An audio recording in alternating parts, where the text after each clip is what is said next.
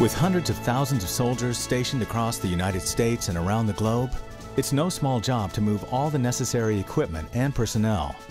But with the National Guard's training, coordinated efforts, and great people, the transportation career field can deliver anything, anywhere.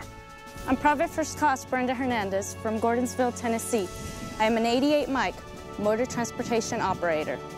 Motor transport operators are a big part of the Guard's transportation career field. And as a transport operator, you could become one of the soldiers responsible for moving supplies and troops anywhere in the world, wherever the Guard is or needs to be.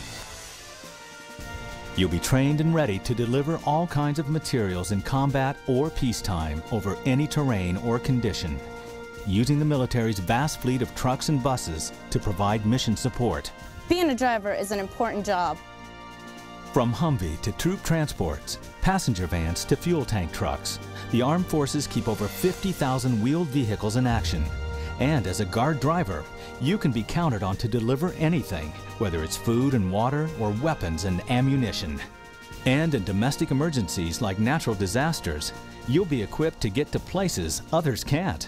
You'll be one of the people America depends on to rescue civilians or deliver humanitarian supplies and equipment for cleanup efforts. In addition to drivers, the Guard also trains cargo specialists and traffic coordinators to be sure they're providing the fastest and most effective delivery support.